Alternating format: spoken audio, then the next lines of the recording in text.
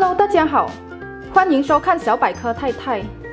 本人在网上看到很多网友说，鸡蛋冷冻了以后，鸡蛋黄会变得特别的 Q 弹，它会变得有点像溏心蛋，有点像咸蛋的蛋黄那样，固体状又爽口。今天本人特别的想尝试一下，到底这个鸡蛋拿去冷冻后，是不是像人们所说的那样，变得更加美味和爽口呢？现在就一起来看看吧。首先，先把生鸡蛋拿去冷冻，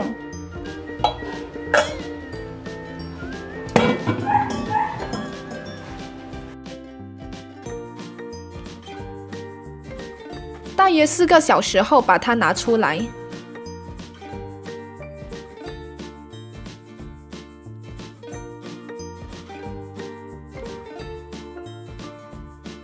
大家可以看到，这个鸡蛋的蛋壳已经裂了，这是因为鸡蛋内的水分结冰，体积膨胀，导致蛋壳破裂。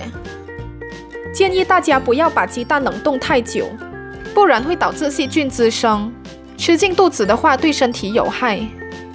然后等待鸡蛋解冻一阵子，不用完全解冻，只是让它比较容易剥开。解冻后，将鸡蛋剥开。大家看看，鸡蛋看起来有点像果冻，摸起来软软的，有点弹性。现在我们要用它来煮水波蛋，先把水煮开，煮开后关小火，用汤匙或筷子在锅内转圈圈，将鸡蛋靠近水面漩涡空心点，再慢慢放入蛋。放入蛋后，在蛋的外圈慢慢的画圈，把蛋黄煮到喜欢的熟度就可以了。捞起来后就可以吃了。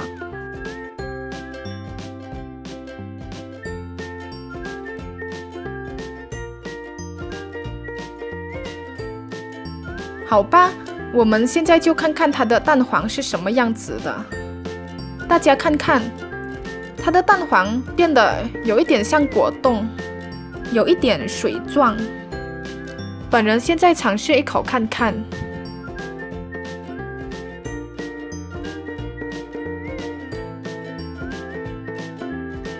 它的口感有一点像蟹黄，膏状的那种。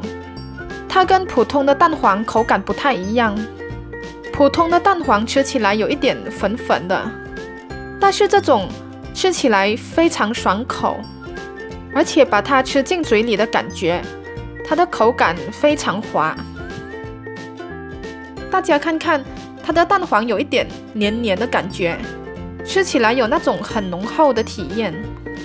还有刚刚冷冻的另一颗鸡蛋，我们拿去尝试煎一下看看。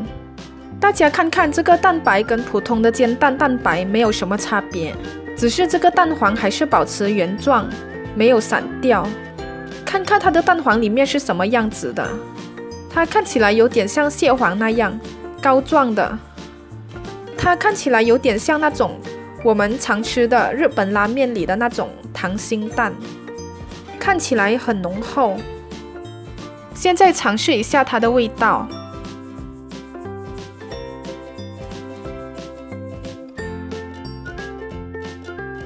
的蛋黄非常 Q 弹爽口，跟刚刚一样，有点像蟹黄的那种口感。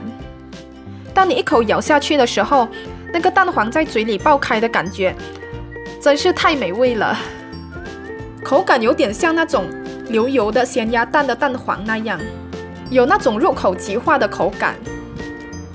大家一定要尝试看这个，真的是非常好吃。如果大家喜欢我的视频的话，记得按赞还有订阅我哦，也记得按下小铃铛，才能在第一时间收到我的最新视频。谢谢大家的支持，拜拜。